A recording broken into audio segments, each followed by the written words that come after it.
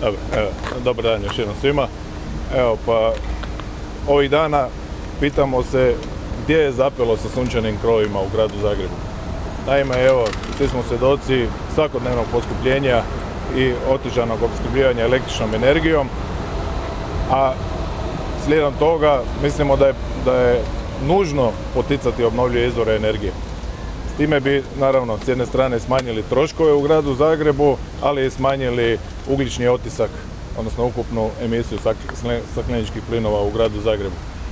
Još u listopadu 2021. na petoj sjednici gradske skupštine tada smo jednoglasno podržali projekt Sunčani krovi u gradu Zagrebu, čiji je cilj bio do kraja 2024.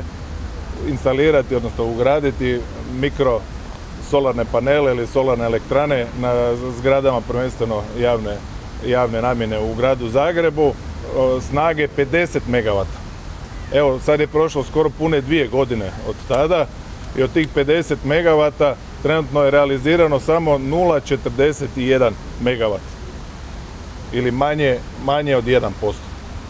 Ovih dana, umjesto da se zavrnu rukave, da stisnu, gradska uprava se hvali, evo gradonačelnik je nedavno i na svojoj, na svojoj Facebook stranici objavio kako samo što nije puštena e, elektrana na krovima psihijatrijske bolnice Sveti Ivan, snage 0,3 MW.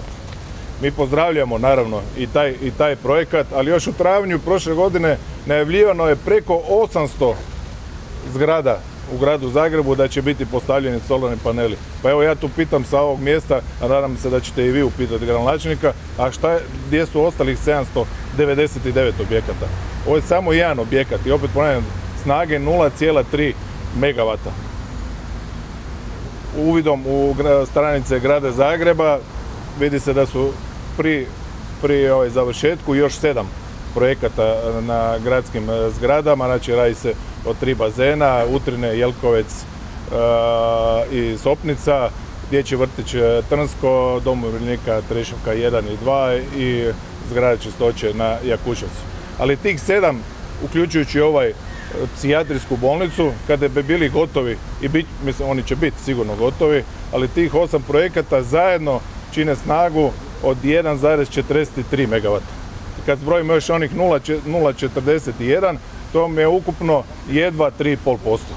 Mislimo da je to daleko, daleko na kraju krajeva od onih najavljivanih 50 MW i da bi se ostvarilo tih 50 MW snage u gradu Zagrebu, bojimo se da neće biti dostatan ovaj program do 2024. ako grad hitno ne ubaci u petu brzinu jer ovim tempom, nažalost, do 50 MW ćemo čekati još dugi niz godina.